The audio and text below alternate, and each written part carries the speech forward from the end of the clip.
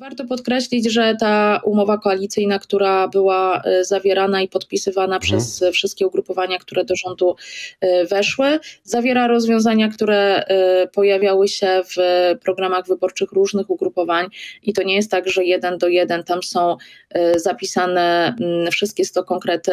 Myślę, że premier Tusk no przede wszystkim mówi różne rzeczy, bo jak popatrzymy na jego wystąpienia chociażby po naradzie gabinetowej, to doskonale wiemy, że Y, premier Tusk mijał się z prawdą chociażby w kontekście centralnego portu komunikacyjnego i wydaje mi się, że ktoś mu po prostu podsunął niewłaściwe, nieprawdziwe y, informacje. Nie wiem, czy był to y, minister Lasek, czy może inni pracownicy. A gościem w sprawie jest dzisiaj Paulina Matysiak, posłanka partii Razem. Dzień dobry, witam serdecznie. Dzień dobry panie redaktorze, dzień dobry państwu. Przez trzy miesiące zrobiliśmy więcej niż jakikolwiek inny rząd w historii III Rzeczypospolitej. Tak powiedział premier Donald Tusk. Czy dobrze powiedział, mądrze powiedział zdaniem pani poseł? Tak faktycznie jest. Pani widzi te wszystkie e, rzeczy, które zrobił nowy rząd? No, z moich e, zainteresowań wynika, że na przykład w kontekście Centralnego Portu Komunikacyjnego to Zbyt wiele zrobione e, nie zostało i trudno się tutaj czymkolwiek pochwalić. E, ani chyba pan premier Donald Tusk, ani pan minister Lasek e, tych sukcesów tutaj nie mają, wręcz przeciwnie, ten projekt stopują. Natomiast pewnie są też takie obszary, w których są sukcesy, w których są sprawy, którymi faktycznie można się pochwalić. Podejmowali interwencje i działania też ministrowie, którzy są w rządzie, ministrowie lewicy i tutaj pewnie Mm, te rzeczy, te przykłady miał na myśli pan e, premier, także te działania, które były podejmowane przez, e, mm, przez parlament. I ale pani poseł, ale, ale no jednak powiedzenie, że to rząd, który zrobił więcej niż jakikolwiek inny rząd, to tak brzmi wyjątkowo e, dumnie, spektakularnie. Pani widzi tą spektakularność działań rządu premiera Donalda Tuska? No bo jeżeli więcej niż jakikolwiek inny rząd trzeciej RP, to ta lista dokonań powinna być bardzo długa. Nie, ja tego nie widzę, natomiast w ogóle też uważam, że e, używanie takich e, wielkich e, kwantyfikatorów, że mhm. coś jest najwspanialsze, największe i, mm, i, i nikt inny czegoś takiego nie zrealizował, warto po prostu zastanowić się używając takich słów, bo łatwo to po prostu sprawdzić, porównać i odnieść także do poprzedników, więc tutaj raczej zachęcałabym do mhm. trochę większej pokory i może właśnie nie takiego... Premiera Tuska, jak rozumiem, tak? Premierowi Tuskowi życzyłaby Pani trochę więcej pokory, tak? Tak, ja generalnie wszystkim politykom życzę więcej mhm. pokory. Wydaje mi się, że to się po prostu przydaje klasie politycznej. E, no, nie tylko klasie politycznej, pokora się przydaje w życiu, dobrze e, trochę pokory mieć, ale też nie za dużo, pani poseł, prawda? Pani poseł, jeżeli chodzi o lewicową agendę, e, to, to ten rząd realizuje wasze postulaty. Co z postulatów lewicy może pani dzisiaj powiedzieć waszym wyborcom? Co zostało zrealizowane przez te trzy miesiące rządów koalicyjnych?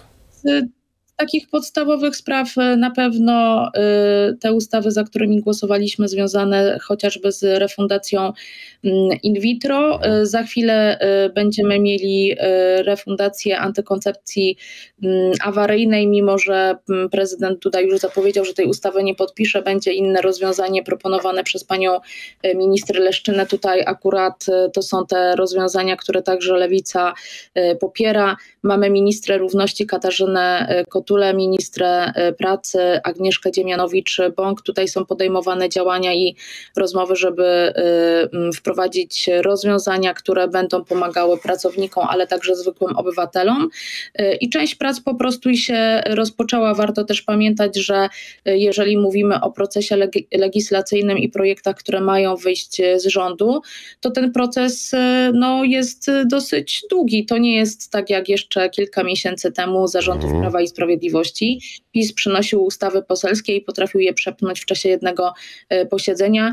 Mm, ja wczoraj krótko rozmawiałam z wy panią... Nie przynosicie e, ustaw, pani poseł, to na tym polega też różnica, że wy tych ustaw w ogóle prawie nie przynosicie. Ona właśnie mówiła, że e, proces, proces dyskusji i, i rozpoczęcia prac nad ustawą o chociażby związkach partnerskich się rozpocznie i to będzie projekt rządowy, to, to nie będzie projekt poselski, więc te prace się toczą i za chwilę będzie można także zabrać głos chociażby w konsultacjach tych, które dzieją się podczas podczas opiniowania projektu rządowego, więc te sprawy się rozpoczynają. Wiem, że będą budowane mieszkania, na to są już zachowane środki, więc trochę tych rzeczy też jest. Może one gdzieś giną w natłoku takich spraw najbardziej mhm. medialnych, natomiast warto się też przyglądać tym drobnym rozwiązaniom, które są też wprowadzane. Natomiast tak, no ja się zgodzę, na razie tych projektów rządowych zbyt wiele nie było. To były zazwyczaj po prostu pilne projekty związane chociażby z wprowadzeniem tych osłon na energię do połowy roku, czy mm, chyba ten był, były te, też mm, ustawa, którą wczoraj głosowaliśmy w Sejmie, związana z pomocą dla Poczty Polskiej, to także był projekt rządowy, jeżeli mnie pamięć mhm. nie, nie myli. Więc, e, więc trochę tych rozwiązań jest, natomiast e, wydaje mi się, że już za moment, za kilka miesięcy tych projektów rządowych z rządu będzie o wiele, o wiele więcej. E, pani poseł, no, pani jako partia, członkini partii Razem do, do rządu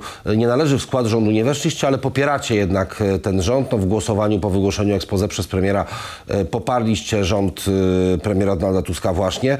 Po tych trzech miesiącach pani jest zadowolona, dumna z osiągnięć tego rządu, no bo premier mówił o stu konkretach w ekspoze. E, z tych stu konkretów niewiele się udało zrealizować. To czy dalej e, darzy Pani y, zaufaniem tę ekipę? Myślę, że jeżeli, może zacznę od końca, myślę, mhm. że jeżeli chcemy rozmawiać o stu konkretach, to chyba warto zapraszać polityków Koalicji Obywatelskiej, bo y, przypomnę, te konkrety to jest program wyborczy Platformy Obywatelskiej i ja go nie chcę recenzować. Ale to pani poseł, ale to jakoś powinniście się porozumieć, bo ja słyszałem premiera z mównicy sejmowej, nie, nie szefa Platformy, ale premiera, który zapowiadał zrealizowanie tego właśnie programu, a pani poparła tego właśnie premiera, więc yy, tak, ale warto, wiem, warto samowolnie premier że, to przełożył jako program rządu, ale no tak się stało po prostu. E, warto podkreślić, że ta umowa koalicyjna, która była e, zawierana i podpisywana mhm. przez wszystkie ugrupowania, które do rządu weszły, zawiera rozwiązania, które pojawiały się w programach wyborczych różnych ugrupowań i to nie jest tak, że jeden do jeden tam są zapisane mm, wszystkie sto konkrety. Myślę, że premier Tusk no przede wszystkim mówi różne rzeczy, bo jak popatrzymy na jego wystąpienia chociażby po naradzie gabinetowej, to doskonale wiemy, że y, premier Tusk mijał się z prawdą chociażby w kontekście Centralnego Portu Komunikacyjnego i wydaje mi się, że ktoś mu po prostu podsunął niewłaściwe, nieprawdziwe y, informacje. Nie wiem, czy był to y, minister Lasek, czy może inni pracownicy. Natomiast no, wydaje mi się, że warto tutaj te informacje, które się przedstawia, też weryfikować. Co było nieprawdą z tego, co mówił premier wtedy, pani poseł? Co było nieprawdą? Nieprawdą było to, że mamy, posiadamy ekspertyzy, które mówią o tym, że centralnego portu komunikacyjnego nie należy e, e, budować. Takich ekspertyz nie ma, jest wręcz odwrotnie.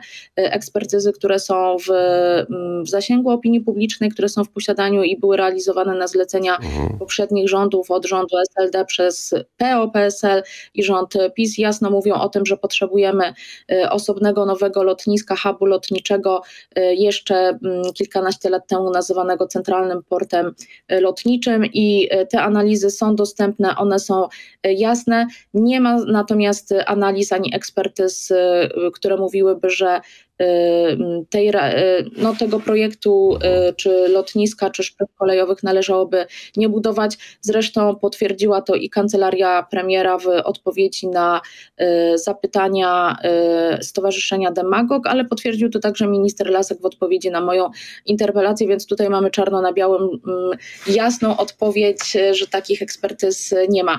Więc ja myślę, że jeżeli staramy się wypowiadać, wypowiadamy się, to no to warto po prostu te informacje, które dalej szerzymy, weryfikować, e, mhm. a nawet jeżeli coś słyszymy, warto też sprawdzać, czy, czy te informacje są prawdziwe. Szczególnie jak jest się premierem. E, pani poseł, a jeżeli chodzi o CPK, to póki co wiadomo też, że decyzja się odsuwa w tej w sprawie, prawda? Bo te audyty będą dłuższe niż tak. chyba planowano na początku.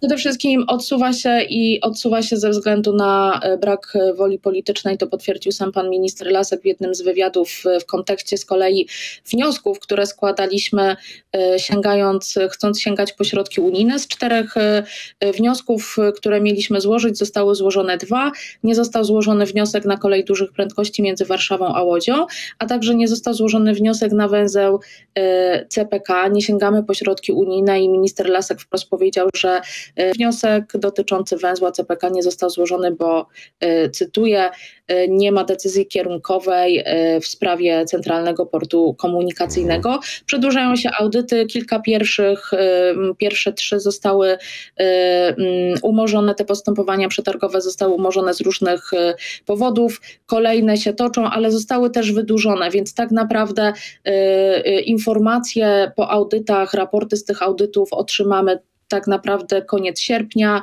y, y, lipiec, początek wakacji, więc znacznie w czasie odsuwają się wnioski dotyczące y, analiz tego komponentu lotniczego i kolejowego. To zostało rozdzielone. Natomiast te inne badania, audyty, które są związane chociażby z działaniem programu społeczno-gospodarczego czy z wynagrodzeniami, one pewnie będą wcześniej. Zresztą tutaj część tych spraw można też sprawdzić na poziomie samej spółki taką wewnętrzną mhm. Kontrolą i to się też dzieje. Natomiast no, te wyniki tych ustaleń no, nie powinny mieć wpływu na to, czy sama inwestycja jest wstrzymywana, jest e, jakoś przeciągana w czasie. Jeżeli były jakieś nieprawidłowości, trzeba to wyjaśnić, trzeba do, pociągnąć do odpowiedzialności te osoby, które za te decyzje odpowiadały. I oczywiście tutaj ja też nie krytykuję samego faktu sprawdzenia, za Jasne. co odpowiadali no, poprzednicy, a za co będzie wydawane, to trzeba to oczywiście E, sprawdzić. Tu wątpliwości nikt na pewno nie ma. Pani poseł, jeszcze jedną rzecz chciałem zapytać. E, Trybunał Stanu dla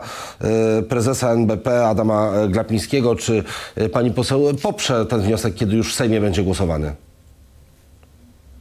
Ja nie poprę tego wniosku, nie podpisałam się pod tym wnioskiem i uważam, że y, zaczynamy, y, zaczynamy, no może to jest w ogóle niefortunne słowo, że w ogóle sam ten pomysł y, postawienia prezesa NBP przed Trybunałem Stanu jest kolejny takim pomysłem robienia pewnej chucpy politycznej, odciągania uwagi. To w ogóle nie jest właściwe, właściwe podejście. Sam pan prezes jest bardzo dobrze oceniany, jeżeli mówimy o takim forum europejskim. Jego działania są dobrze oceniane i faktycznie przyniosły efekty. Natomiast oczywiście samego pana prezesa, to co on opowiada, można różnie oceniać. Sama jestem bardzo sceptyczna do jego długich konferencji i różnych e, opowieści. Okay, ale konferencje konferencjami, ale jeżeli chodzi o szefowanie NBP, to zdaniem pani poseł jest dobrym prezesem NBP, Glapiński? żeby kogoś stawiać przed Trybunałem Stanu. Jasne, ale pani e, poseł, ale pani zdaniem więc... pani dobrze ocenia e, pracę, tą nie, nie, nie występy na konferencjach, ale e, pracę prezesa NBP, e, tą, e, która jest no, jakby istotą e, politykę pieniężną przez niego kreowaną. To jest, to jest dobra praca? Jak się okazuje y, i y, z tych efektów, y, te efekty zostały, efekty zapowiadane mhm. też przez prezesa NBP zostały, mówiąc kolokwialnie, dowiezione. Mamy mm, niską inflację, tak jak pan prezes zapowiadał. Natomiast tak, ja bazuję na tych opiniach mhm. ekspertów i ekonomistów, także z zagranicy, którzy tutaj jakichś większych uwag nie mają. Ale tak jak mówię, wydaje mi się, że ten teatr polityki nie powinien w taki sposób wyglądać, że teraz y, mm, robimy jakiś spektakl, stawianie kogoś przed y, Trybunałem Stanu. Ja tego wniosku nie podpisałam. I, tutaj kropkę postawmy, póki co pani poseł. W internetowej dogrywce jeszcze temat rozwiniemy. Kończymy radiową część Sedna Sprawy. Paulina Matysiak jest y, gościem naszego programu. Dobrego dnia życzymy słuchaczom Radia Plus. Radio Plus. Sedno Sprawy. Paulina Matyczak z Partii Razem cały czas jest e, z nami. Pani poseł o prezesie NBP Adamie Glapińskim rozmawialiśmy. Pani nazywa ten wniosek politycznym e, teatrem. E, z inflacją związana jest też inna decyzja rządu o, związana z, z VAT-em na żywność. Powrót do, do 5% stawki, jeżeli chodzi o VAT na żywność, bo no, inflacja jest poniżej 3 punktów procentowych, więc wydaje się, że może faktycznie to jest dobry moment na to, żeby wrócić do, do tego, co było, bo rząd Prawa i Sprawiedliwości Sprawiedliwości też przecież nie wprowadził na stałe e, takiej stawki, jaką mamy teraz, tylko też planował kiedyś powrót do tych 5%, więc może pani poseł faktycznie od kwietnia to jest dobry moment? Ja myślę, że y, oczywiście to jest prawda, że to było rozwiązanie, które było wprowadzone na określony mhm. czas i możemy dyskutować, czy ten moment y, podwyższenia tej stawki, powrotu tej stawki do 5% jest y, zasadny. Ja myślę, że odbije się to na portfelach, zwłaszcza najmniej zamożnych Polaków, którzy faktycznie od kwietnia pewnie będą się musieli zastanawiać, to muszą wyjąć ze swoich koszyków w sklepach po to, żeby ten rachunek przy kasie im się spiął i żeby mogli go zapłacić. Osobiście uważam, uważam, że tutaj e, temat powinien zostać podjęty na poziomie europejskim, bo no mamy oczywiście dyrektywę dotyczącą e, stawek VAT i być może należałoby poruszyć ten temat, żeby stawkę VAT, zerową stawkę VAT na podstawowe produkty spożywcze po prostu wprowadzić na stałe we wszystkich krajach. To są takie produkty, z których przecież nie możemy zrezygnować, które są istotne z punktu widzenia e, no, naszych nawyków, naszego bezpieczeństwa, naszego zdrowia. Musimy, każdy z nas musi jeść, musi zjeść ciepły posiłek e, mm, i tak dalej. Więc e, wydaje mi się, że to jest temat, który przyszłościowo należałoby rozwiązać. Natomiast co dotychczasowych rozwiązań, to warto też przypomnieć rozwiązanie jeszcze sprzed dobrych e, chyba kilkunastu lat, związane z podwyższeniem też czasowym stawki VAT do 23% i to mhm. akurat nie zostało zdjęte.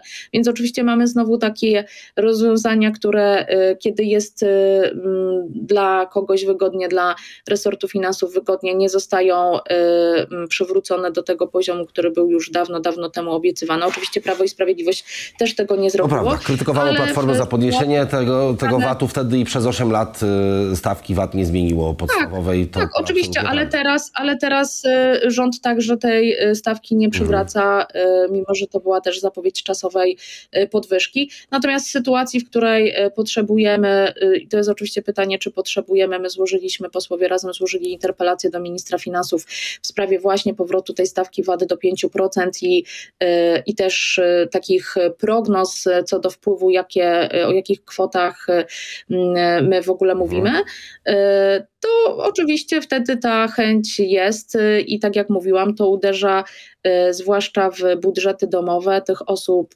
najmniej zamożnych, te, które już teraz miały bardzo często pro, problem z tym, żeby zapłacić za wszystkie produkty spożywcze. Tu warto jeszcze przypomnieć, mamy stanowisko polskich banków żywności, które też dobrze nie oceniają tej decyzji i wskazują na to, że ten problem y, związany y, z dostępem do żywności będzie się pogłębiał y, i też proponują pewne rozwiązania, wzmocnienie trzeciego sektora, ułatwienie korzystania z tej pomocy, waloryzację progów, które mm, no, które y, kwalifikują osoby do y, uzyskania pomocy z ośrodków społecznych, takiej pomocy żywnościowej.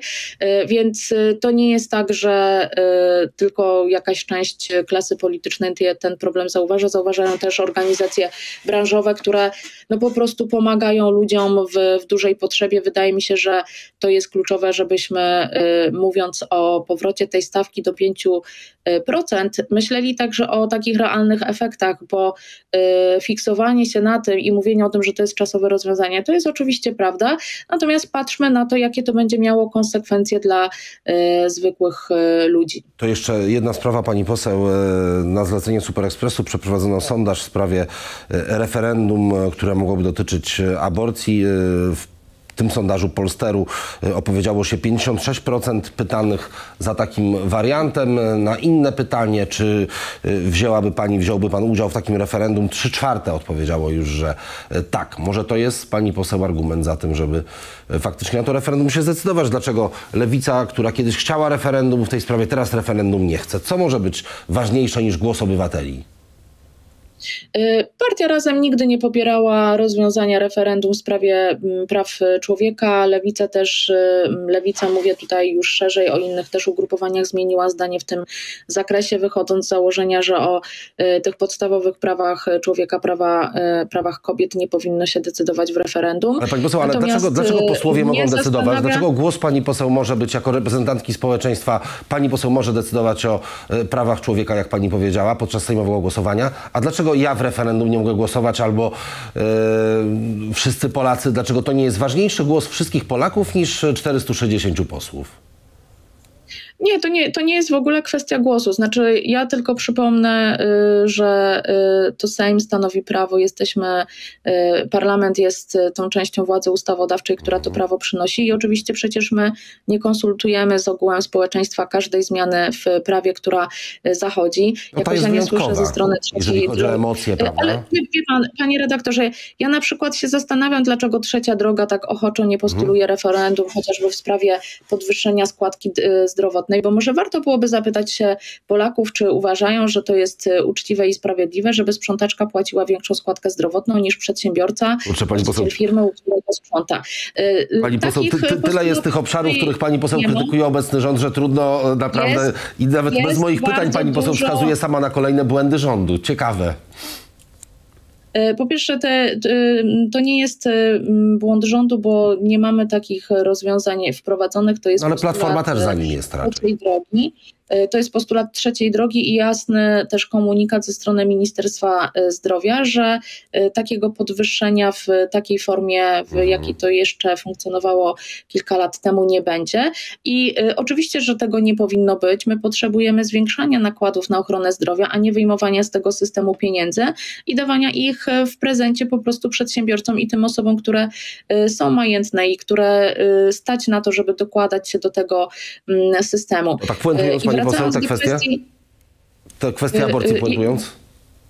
Tak, i w, właśnie wracając do kwestii referendum, y, oczywiście można dyskutować, y, czy referendum, w, i tutaj można sobie wstawić różne tematy, mhm. jest zasadne. Widzieliśmy jesienią, jak się referendum y, skończyło, też wykorzystywane bardzo koniunkturalnie do celów politycznych przez y, mhm. Prawo i Sprawiedliwość. Y, nie przyniosło to efektu i warto też przypomnieć, że wiążące referendum, czy ważne referendum niekoniecznie skończy się przyjęciem takiej ustawy, ponieważ i tak na końcu Y, prezydent może taki projekt zawetować, projekt ustawy może być zmieniony na poziomie sejmowym, sejmowym, więc tak czy siak i tak na końcu kończy się to po prostu dokładnie tym samym procesem, który mógłby odbyć się już teraz, więc tracimy czas i mhm. tracimy pieniądze na przeprowadzenie referendum, y, którego celem y, i też finałem będzie dokładnie ten sam proces, od którego trochę chcemy uciec i, mm, i pewnie zaoszczędzić na czasie. To jest postulat, który jest wygodny pewnie dla trzeciej drogi, bo to trzecia droga, nie chce się jasno określić, po której stronie chodzi, stoi, jeżeli chodzi o prawa kobiet. Bardzo dziękuję za rozmowę. Paulina Matysiak, Partia Razem. To był gość dzisiejszego Sedna Sprawy. Dobrego dnia Pani poseł życzę i Państwu dziękuję bardzo. Dobrego dnia, bardzo dziękuję.